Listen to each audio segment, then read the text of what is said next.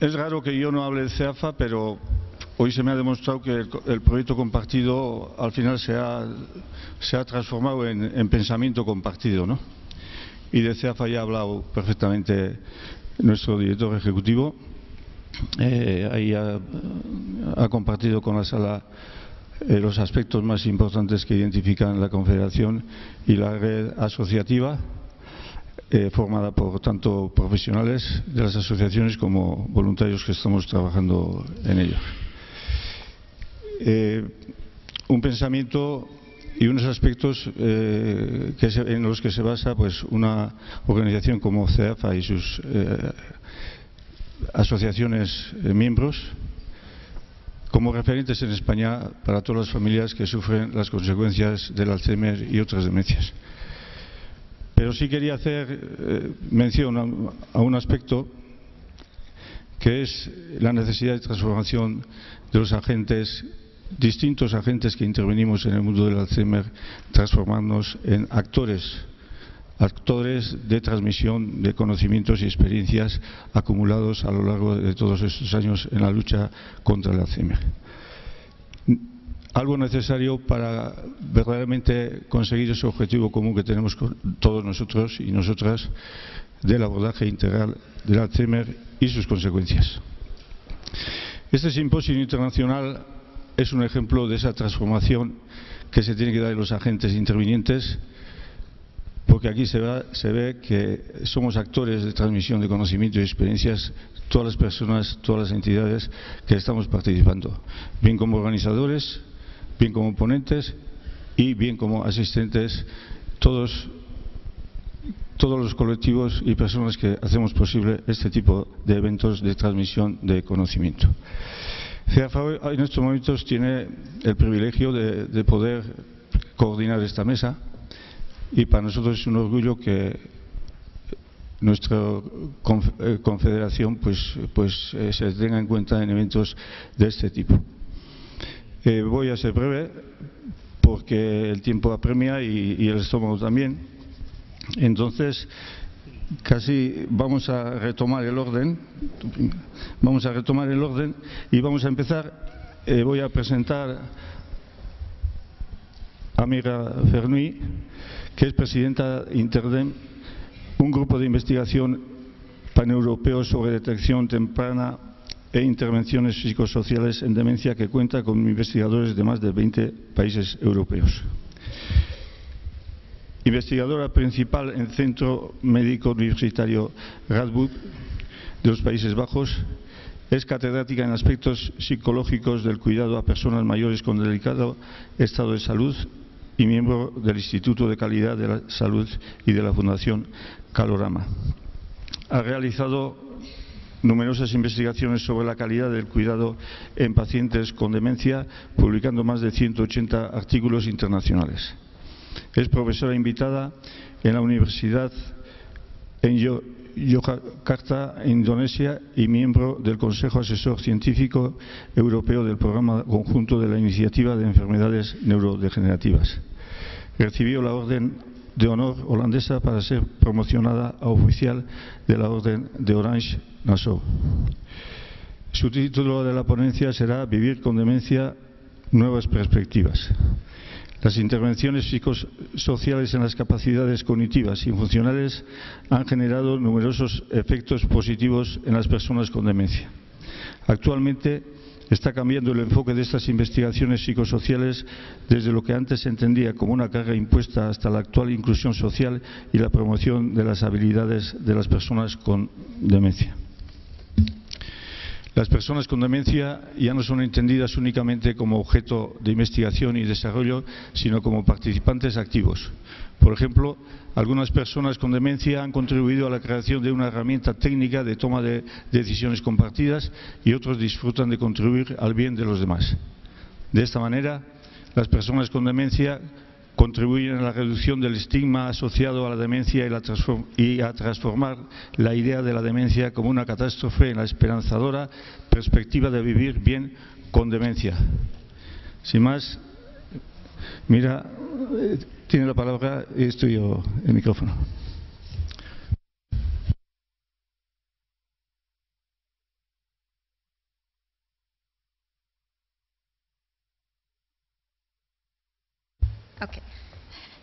Es un placer volver nuevamente a esta Universidad de Salamanca, eh, cuna de la cultura. And now I will speak English. Y a continuación voy a seguir mi ponencia en inglés.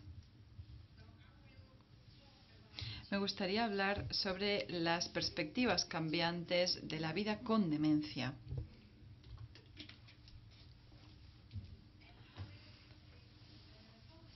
Mi presentación se va a centrar en las posibilidades de las intervenciones psicosociales tanto para las personas con demencia como para sus cuidadores. Me gustaría darles algunas indicaciones sobre cómo podemos tratar con ambos grupos, dándoles algunos indicadores de calidad y también tengo buenas noticias en cuanto a las intervenciones eh, preventivas. Y a continuación cerraré mi ponencia con las perspectivas de cambio. Para comenzar les diré que soy presidenta de Interdem y en 2011 escribimos un manifiesto sobre qué hacer en cuanto a las intervenciones psicosociales en demencia. Hablamos mm, de estas intervenciones que incluyen la interacción entre las personas para apoyar eh, la cognición, las emociones, las relaciones interpersonales y para darles a estas personas un cierto sentido de control. Tratamos de hacer esto a través de actividades e integración social significativa y valiosa y basamos nuestras ideas en la contribución y en la reciprocidad. Lo que hago, eh, allá donde voy, llevo mis zapatos conmigo lo que quiero decir con esta foto es que si hablamos de intervenciones psicosociales, deberían ajustarse como los zapatos. Cuando los zapatos son demasiado grandes o cuando damos demasiada intervención no sirve o cuando no damos suficiente intervención y los zapatos nos aprietan tampoco sirven.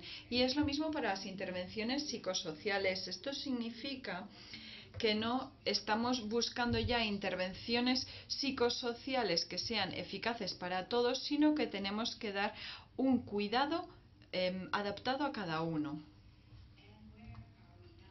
¿Dónde nos encontramos en la actualidad? Pues bien, hemos llevado a cabo grandes intervenciones psicosociales, algunas son eficaces, otras no han tenido el efecto deseado, pero sí sabemos hasta el momento seguro algo y es que necesitamos intervenciones adaptadas y multicomponentes. Por ello, las intervenciones adaptadas tienen múltiples posibilidades y caras. Una de las posibilidades más importantes es la de prestar asistencia a personas que sufren demencia, como por ejemplo con estimulación y ejercicios cognitivos. Ya hay pruebas que apoyan eh, nuestras conclusiones. No hay solo un estudio, hay muchos. Aquí pueden ver que las intervenciones cognitivas mejoran mejoran los, los síntomas perdón, conductuales y psicológicas. Estos, eh, los llamados SCPD, los síntomas conductuales y psicológicos en personas con demencias son preocupantes. Las intervenciones no farmacológicas para las familias también han de estar adaptadas. Son eficaces y al menos son tan eficaces o más que las terapias eh, e intervenciones farmacológicas.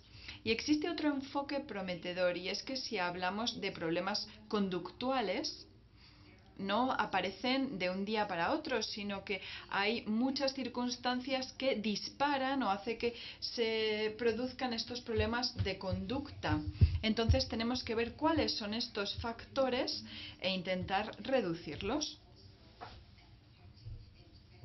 También hay que llevar a cabo intervenciones que sean eficaces y todas estas intervenciones no se basan, como digo, en estudios únicos, sino en multitud de literatura contrastada. También hemos eh, hallado el hecho de que algunas intervenciones no son eficaces por sí solas, como por ejemplo cuando hablamos del relevo en el cuidado no es suficiente por sí solo. Y pasa lo mismo con la validación que ha tenido resultados inconclusos. No sé si tengo que dar así o no. Lo siento, odio que los ordenadores se apoderen de nuestra sociedad. Bueno, parece que ha desaparecido. Bien, pues seguimos. Otro cambio, me gustan los cambios, pero no me gusta que sean los ordenadores los que los hagan. Pues bien, otro cambio es que si empezamos a estudiar las personas con demencia no solo como objetos que estudiamos, sino colegas, compañeros, colaboradores, algo va a cambiar. En los estudios, por ejemplo, eh, estudios que están llevando a cabo en el momento, les pedimos también la opinión sobre las herramientas que utilizamos.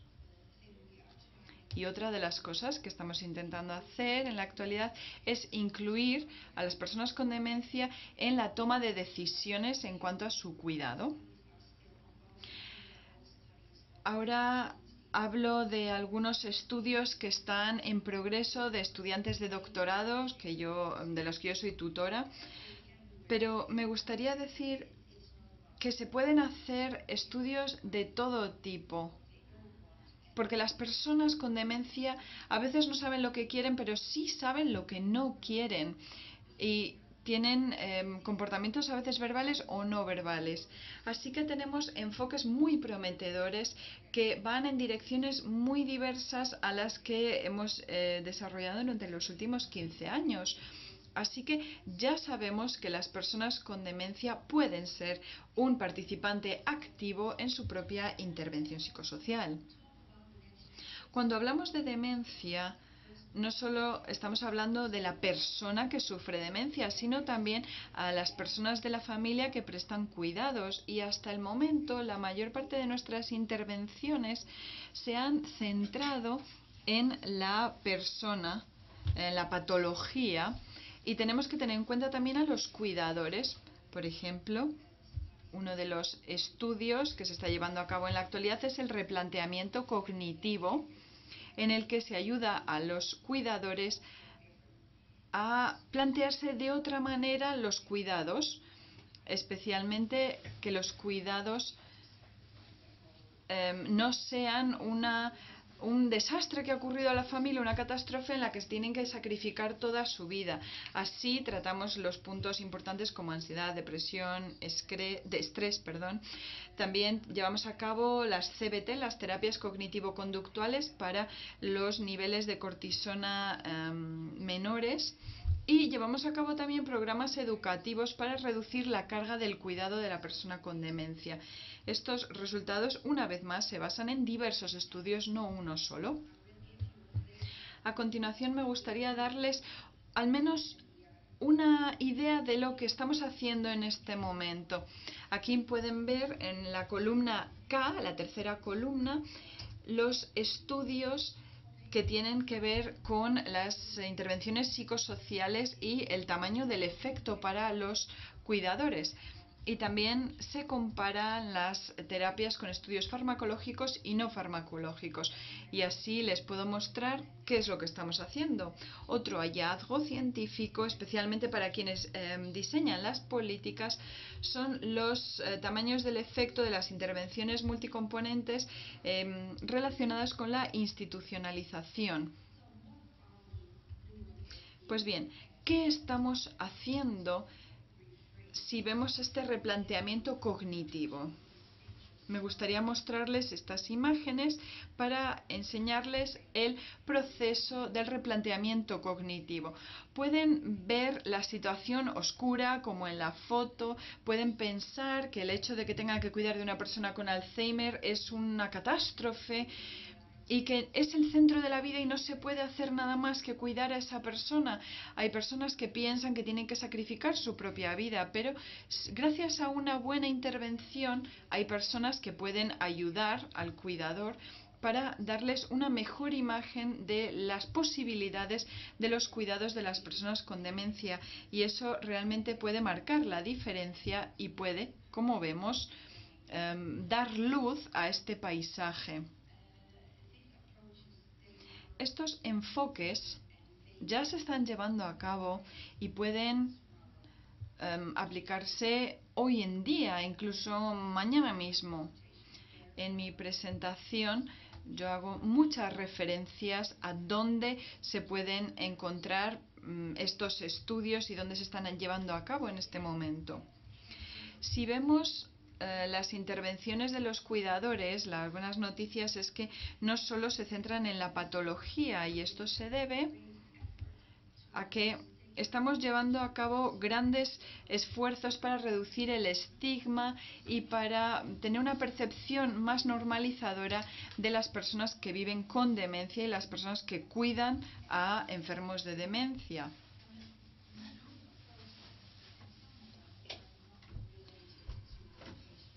A veces estos nuevos enfoques no están relacionados directamente con el paciente, como por ejemplo el ejercicio ayuda mucho para reducir la carga el practicar ejercicio. Por ejemplo, también hay intervenciones de apoyo basadas en Internet que son a medida de cada paciente y de cada cuidador y ya se ha demostrado que ha habido una mejora en el bienestar. También tenemos otras intervenciones basadas en la meditación que reducen la carga del cuidado y la depresión también. Así vemos que en estos momentos sí hay pruebas científicas que apoyen estos nuevos enfoques. Porque vemos que sí hay intervenciones psicosociales que sí pueden ayudarnos a mm, tener mejores niveles de vida, mejor calidad de vida, tanto para el enfermo, como el paciente, como para los cuidadores. Estamos intentando que la vida también sea más fácil para los profesionales de la salud y para ello tenemos un indicador de la calidad. Indica lo que se debe hacer para proporcionar cuidados adecuados vemos el número de personas con demencia en residencias em, cuyos em, informes y circunstancias de vida, preferencias están disponibles en esta residencia. Así, la persona con demencia es una persona con mayúsculas. Es decir, son personas que tienen toda una historia a su alrededor y las personas que le cuidan saben que es una persona individual con sus em, gustos y cosas, mm, circunstancias personales y familiares. Esto también se está llevando a cabo en la Universidad de Salamanca, por ejemplo. Tenemos más buenas noticias. Y es que también se están llevando a cabo algunas intervenciones preventivas no farmacológicas. Una de las estrategias más prometedoras perdón, es la que está llevando a cabo Manuel Franco en cuanto a la formación cognitiva y física por ordenador se está llevando a cabo este estudio en España. Hay muchas zonas eh, remotas y hay mucha gente que puede ir a áreas más alejadas en las que también puede acceder al ordenador. Esto, este estudio, esta intervención, perdón, ha mejorado el funcionamiento cognitivo global y ha descendido los niveles de depresión. Tenemos más buenas noticias y son unos estudios llevados a cabo por el grupo Finger. Em, se ha publicado en marzo de este año. Se trata del primer Em, estudio aleatorizado en cuanto a medidas de prevención, que ya se ha mencionado esta mañana. Tiene que ver con la dieta, con el ejercicio, em, formación cognitiva y control del riesgo vascular que mejoran las funciones cognitivas. Así pueden ver que se están llevando a cabo diversas intervenciones y que hay pruebas científicas que respaldan que esto funciona y que puede ayudar para mejorar el funcionamiento cognitivo para todas las personas que pueden sufrir eh, demencia. Aquí eh, les voy a dar otro consejo y es un consejo sobre lo que no deben hacer. Y es que si ven la prevención, podemos eh, resumirlo en esta foto que les muestro.